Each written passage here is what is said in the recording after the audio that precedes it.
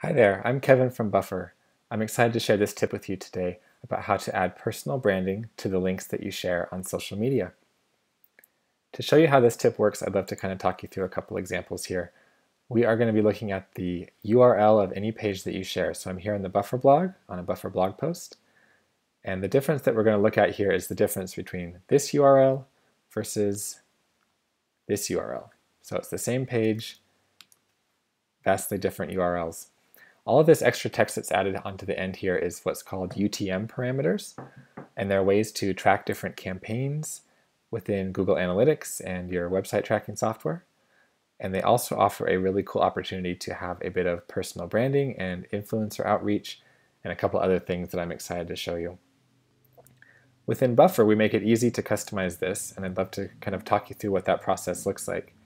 So from your Buffer dashboard, if you go over to Settings and Link Shortening, you'll come to this settings page here. Link shortening is at the top, and then this section at the bottom is what we'll be working in today, the campaign tracking.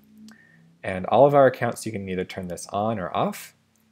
And then for our business accounts, you also have the opportunity to customize the campaign tracking. I'll talk you through some options on both sides so we can see how this all works. So for business users, if you click on Customize Campaign Tracking, you can change the different variables here. So I've used Kevan Lee in the past, the default is buffer here. Since I'm working with my pretend account, I can go with pretend Kevin just for testing purposes. Um, this is the campaign name, the campaign source, and the campaign medium. So once you make any changes there, you can click Update Tracking, and then you can come back and change this as many times as you want. The effect that this has, and I'll show you a, a tweet that I sent out through Buffer to test this. This link here was I just sent out a few minutes ago, and if I click on this one,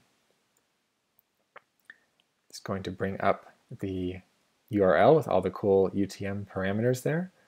So we have the medium, which is social, we have the source, which is Twitter, and then here at the end we have the campaign, which is pretend Kevin, which is the parameter I just set. So we can see how that changes there.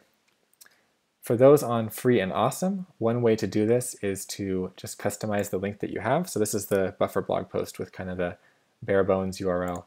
If you were to add a question mark and then the word campaign or source or medium, whichever option you want, or all of the options if you'd like, equal sign, and then your personal branding.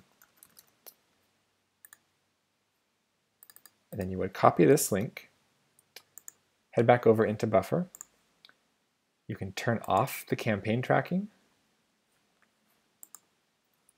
And then if you are to schedule a post,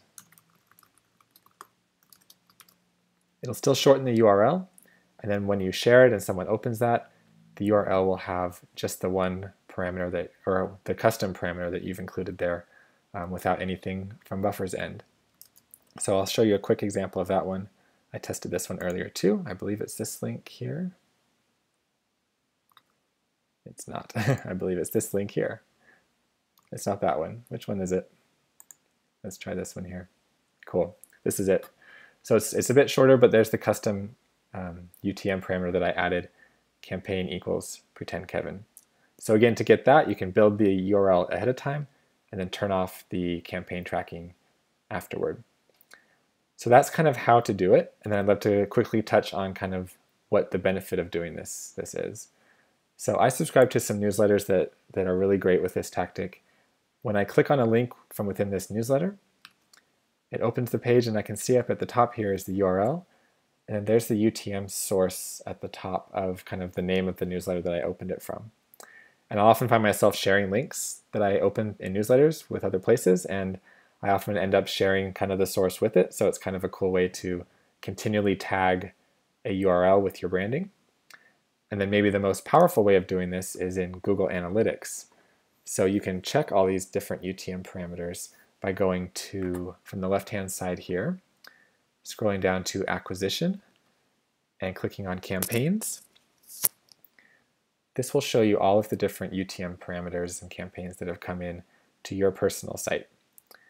And if I'm scrolling through the list here, I'll start to notice some things. And the benefit from this tip is if you were to tag yourself onto some links sharing to other people's websites, when they check their analytics, it's possible that they might notice your name popping up in their analytics under campaigns. So I, I hope that makes sense. It's kind of a, a tricky one, but a really cool one. So I'll show you an example of what that looks like here on Buffer. As I'm scrolling down the campaigns, I see one right here for Heaton.com. So I am really appreciative of that site sending us a lot of traffic this last month. And I see one for Pocket Hits. And I see one for Moz Top 10. And it's really cool to just kind of be able to notice where some of these links are coming from. You can get these some of these stats in other places too.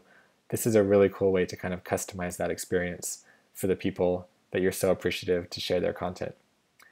So this is kind of a cool tip. I'd, I'd love to know if I can help clarify anything on this side or explain anything further. You can reach out to us anytime at hello at buffer.com, and I'll look forward to sharing with you all again soon. Thanks.